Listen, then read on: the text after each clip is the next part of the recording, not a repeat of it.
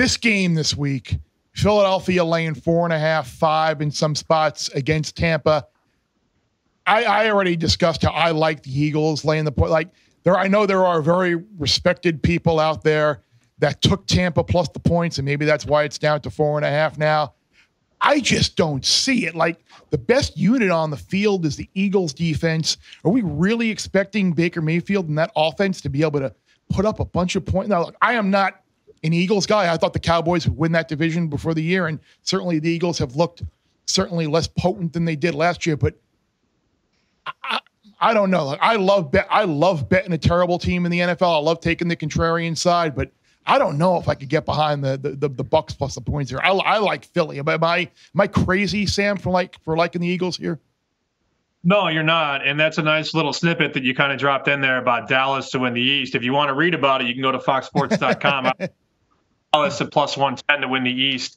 There's still that five game gauntlet later this season where Philly goes like Dallas, yep. Kansas, Buffalo, San Francisco, Dallas, and they're not going to survive that. So, um, the other thing in this game in Philly, Tampa Bay is you also have to think about Philly played on Thursday. So, this is that extra rest, get all these guys that are nicked up, get them healthy, get them ready to go, and really laying under seven in this spot. Like, I would lay five right now. I, I haven't really gotten there yet because I'm still trying to get my liquidity in order for Saturday for college football. But I probably should should get a piece of Philly minus five right now because that likely keeps climbing. We know that every straight bet, every money line parlay, all these parlays are going to roll into Monday, and most of the public is going to use Philly in those plays. So yeah, I, I think the ten day off is is great for Philly and you know, yeah, they're lucky to be 2 and 0, but they're still 2 and 0. You know, let's not knock them for winning games against the Patriots and the Vikings, two teams that really do different things. The Patriots are really good defensively, the Vikings are really good offensively. Philly has taken a couple punches, but they've still taken care of business.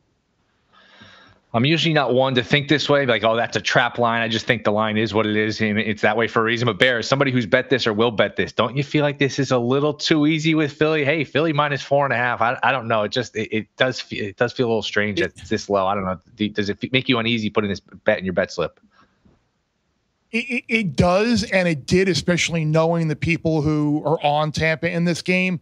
But I, I just can't get what I've seen on the field out of my head. Like speaking of easy, like, like what looks easier this week than Miami laying six and a half against Denver, Seattle laying six against Carolina? Like, like you talk about absolute. Tri- uh, uh what's it the Lions minus three against Atlanta.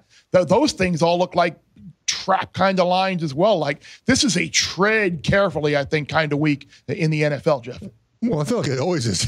yeah. We could be as evidenced by last week. there's nothing that uh, there's and, and remember too to make sure to check the lines throughout the week, right? Because I I on this show I took the Packers money line on Thursday, and then by Saturday by Sunday it was plus three, yeah. right? And so make sure that, that, that you track these lines because sometimes, as you mentioned, Sammy, and this could be four and a half now for Eagles, and maybe by kickoff it's near six or seven, right? So make sure that you kind of track on the lines as you, as you decide on, on where to go. But the NFL is always full of these games. You, you look at all these lines, you're like, wait, that doesn't make sense to me. And then a lot of times by Sunday, you're like, oh, it makes a little bit more sense to me. And so, um, but I'm with you on the football part of this.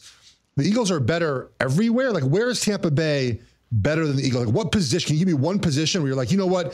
This is the football advantage Tampa Bay has in this game. The answer is nowhere, nowhere. M- maybe Mike Evans uh, against the Eagles corners, but you the Eagles have good core. I can't find a position where they're better than than. Uh, but Tampa Bay is hard to play at, and this time of year it's hotter than usual, uh, you know, uh, across other places. But I'm with you in the Eagles. I think Eagles will, will win this game by touchdown. And let's also bear. Let's think about what Tampa. They faced a Bears defense that was on backs two and three. One of the corners got hurt in that game, and then the safety got hurt. So it was just bombs away all day against a Bears defense that was on cornerbacks three and four, down to safety, and has no defensive line. I mean, that was like it was like just shooting fish in a barrel for Baker Mayfield. He had how many passing yards did he have? 350 or something like that? That's not going to happen against Philly because they're going to be guys in his face literally all night on Monday. Yeah, and and you mentioned an injury, an unfortunate injury. Of course, we're, going to look up on Sunday. It's going we're going to see 23-20 Tampa Bay final because eh, that's how this ridiculously is. but you mentioned injury. unfortunate injury on Monday night to Nick Chubb, which was awful and terrible for those of us who uh, have a lot of Browns futures, and just awful for the league in general to lose uh, one of their best players. But I like the Browns this week, laying the three and a half against Tennessee because I still think the Browns defense is again. This is not going to be Tennessee up against the the the Chargers defense from last week, where they, they allow Tannehill just to throw all over him and complete a ridiculously high percentage of passes. I think you're going to see a little bit more of what you saw against the Saints, uh, a really good defense. So I like the Browns minus three and a half. And Will, you got any thoughts on the uh, on the Browns this week, or maybe uh, a way to maybe take advantage of a market where the Browns might be involved in? I think he can even get a three. There's some threes starting to pop up. I think people see the trend. Vrabel as a dog, and he's been great as a dog, straight up against the spread. You name it. Yep. That uh, that combined with the Chubb injury, combined with the fact that Watson really, I mean, he, we, when's the last time we've seen this guy play he's good football? Bad. It's been three or four years. He's looked really bad. But that being said, you know, you, you, factor in home field. You're just saying these teams are like a point, point and a half apart. I think that's too much of a, an adjustment. Uh, I like the Browns here. I do think the Browns win. This is an important game for them because you know their schedule playing in that division is not going to be easy. You go to one and two, you're in some trouble, uh, especially with how well the Ravens are playing. So uh, I do like the Browns here. I think they get back on track. The under, I think, is juicy in this game because the Titans' offense is not very good. We talked about that, and, the, and Deshaun Watson hasn't played as well, and and no Chubb. The only thing about betting against the Titans, guys, I don't know if you feel this way. I just hate being on the other side of the Titans because the way they play football, the way they're coached, the way they play defense, they kind of keep ball control and offense. Like I feel like every time I bet against the Titans, bear, I just end up like wishing I had taken the other side. I side. had them last week. Yeah. Got on them late last week, which was good. Bear Bets full episodes drop twice a week right here on the Bear Bets YouTube channel. Remember to subscribe to stay ahead of the odds and let's celebrate all of our wins together.